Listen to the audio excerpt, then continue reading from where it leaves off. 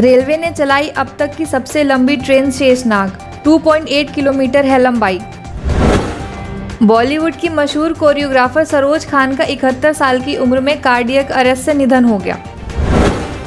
UP के history sheeter को पकड़ने गई पुलिस टीम पर चली गोलियाँ। डीएसपी देवेंद्र मिश्रा, एसओ महेश यादव समेत आठ पुलिसकर्मियों की मौत। केंद्र सरकार ने 6 जुलाई से ताजमहल लाल किला समेत सभी स्मारक खोलने का लिया फैसला। इस साल कांवर यात्रा संभव न होने की वजह से हरिद्वार से गंगा जल को कलशों में भरकर दूसरे राज्यों में पहुंचाएगी उत्तराखंड सरकार। भारत और चीन के बीच चल रहे विवाद के चलते पीएम मोदी आज अचानक लेह पहुँचे। एमपी बोर्ड के दसवीं के रिज़ल्ट जुलाई के पहले सप्ताह में जारी किए जा सकते हैं।